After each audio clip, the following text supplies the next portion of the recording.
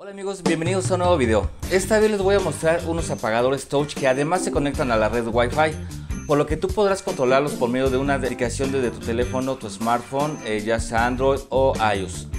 Estos apagadores son touch, como les comento, se los voy a mostrar aquí para que vean cómo está. Y se ven súper bien en cualquier habitación, vienen en varios colores. En este caso la marca que estoy usando es Domotic. Como les comento son touch, por lo que no tiene un interruptor o un botón de encendido, simplemente con pasar el dedo se activa y se desactiva. Entonces hoy les voy a enseñar a conectarlos. Va a ser una serie de tres videos en donde en este primer video les voy a enseñar cómo conectar este tipo de apagadores para uno o para dos focos, con un solo interruptor o con interruptor independiente para cada foco. ¿Por qué? Porque posiblemente ustedes tienen un apagador doble que controla la luz de la sala y el otro apagador la luz del comedor. Entonces este tipo de apagadores se ven muy padres, se ven muy elegantes, se ven muy bonitos y están cool. En serio se los recomiendo que los pongan, se ven muy bien. En el segundo video vamos a checar el mismo tipo de apagador pero conectado en escalera. Conectado en escalera quiere decir que yo en esta habitación tengo dos apagadores iguales. Uno en la entrada de la habitación y el otro de este lado. Con ambos apagadores controlo las dos luces que tengo aquí, es decir, entro a la habitación, enciendo la luz, vengo de este lado ya cuando me voy a dormir o algo para no levantarme hasta la entrada de la habitación, lo apago desde aquí. O viceversa, puedo aprender aquí y a la hora de salir de la habitación lo apago de aquel lado.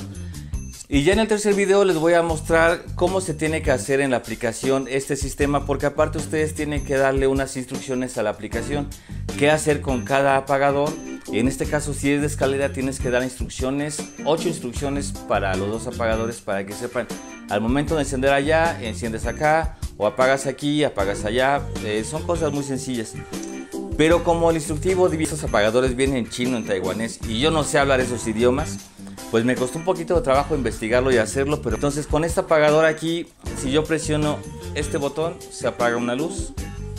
Si lo vuelvo a presionar, se prende. Tengo otras luces aquí que son las centrales, que a la hora de yo aplicar aquí, se enciende o se apaga. Se encienden, se apagan. Se encienden, se apagan. Se encienden, se apagan. Así es que bueno, pues después de esta presentación quédense y manos a la obra.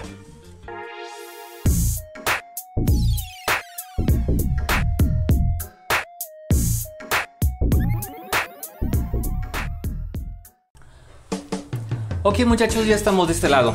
Les voy a mostrar para los que no saben cómo está la conexión de su casa, cómo es que están conectadas sus luces, los cables, para que ustedes puedan ocupar sus interruptores. Los que ya lo saben, bueno, sáltense toda esta parte hasta donde conectamos ya lo que es el apagador touch. Pero bueno, para los que no saben les explico rápidamente. En su casa sus apagadores, lo que es la línea directa de la casa, la que sale por sus tuberías, traen dos cables, uno negro y uno rojo. El cable negro es el que está conectado directamente de aquí, de la salida, está directamente conectado a su foco, ya sea uno o al otro foco si tienen varios. Les voy a explicar. Aquí el cable de corriente que es el rojo se interrumpe porque va directo a lo que es el apagador.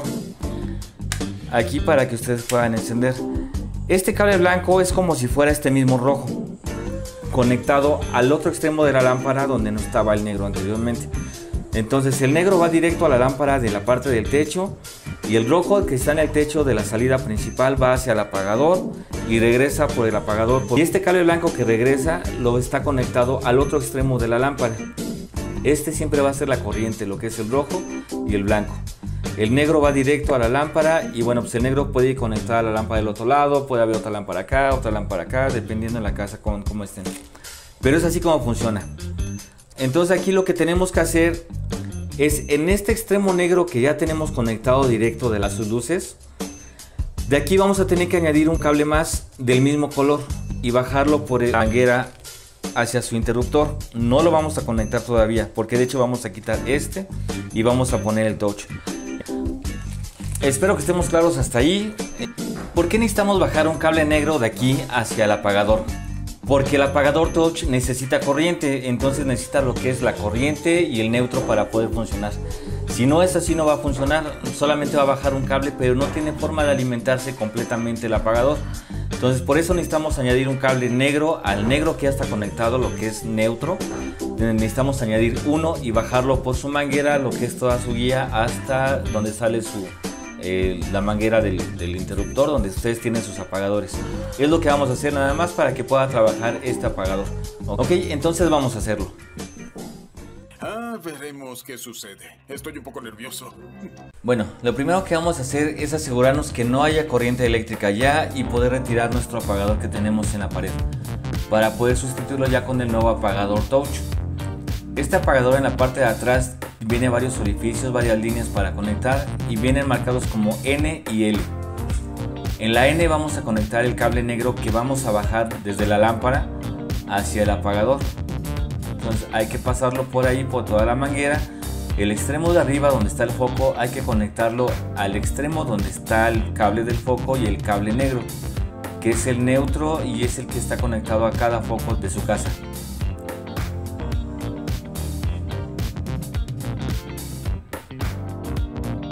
Y la punta que sale del orificio donde está su apagador o donde estaba y va a quedar el nuevo, hay que conectarlo en la letra N.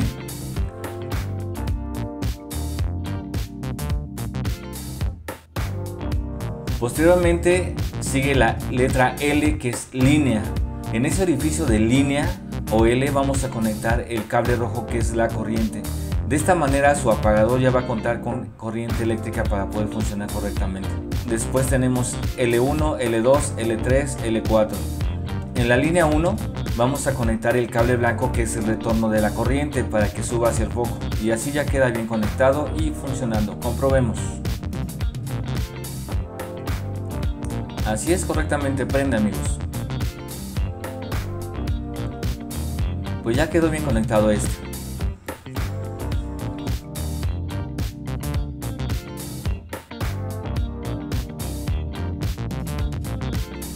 Ahora, ¿qué pasa si ustedes tienen dos focos conectados al mismo interruptor?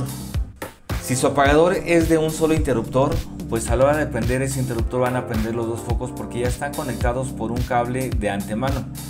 Entonces no van a tener que hacer ninguna conexión. Esto sea lo que ustedes ya tendrían. Un cable conectado de ahí desde el rojo, desde el blanco hasta el otro foco también ya puenteado. Entonces va a prender solamente con el cable negro que hayan pasado ustedes. Pero en este momento lo vamos a conectar en la otra línea para que funcione el otro apagador. Y lo que vamos a hacer es pasar el cable verde que ya tenemos conectado arriba. Lo vamos a enviar por la manguera del cable blanco que conectamos en el otro extremo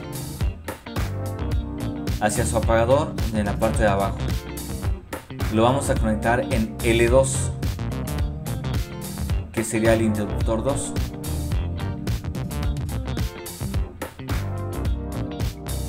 Ya quedó conectado y ahora comprobamos.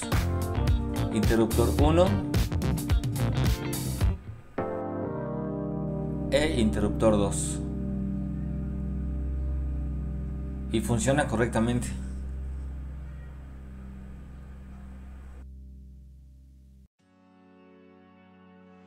Amigos, y pues así es de esta forma como se conectan estas lámparas con este apagador.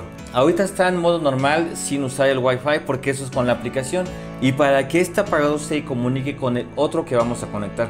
Pero eso ya será en el siguiente video para que ustedes vean la forma exacta cómo se conecta porque en el otro apagador, les adelanto, solamente hay que bajar un cable negro de aquí que es el neutro, lo bajamos aquí y del cable de corriente el rojo que seguramente tendremos también en esta caja de, de luces porque el cable negro y el rojo son los que bajan directo a las tomacorrientes. Entonces en casi todas sus cajitas de luz va a haber negro y rojo. Entonces de aquí, de esta cajita, vamos a bajar uno negro y uno rojo nada más. No es lo que les adelanto, pero ya les explico en la siguiente forma, ¿va? Pues los dejo hasta aquí con este video, ya con el interruptor funcionando. Recuerden, es touch, es wifi y se ven muy fregones. Si te gustó este video dale like, deja un comentario y suscríbete a mi canal, ya que los otros dos videos que siguen van a estar interesantes también y podrás ver cómo se hace esto. Pues los dejo hasta aquí amigos, cuídense mucho, nos vemos pronto. Hasta luego.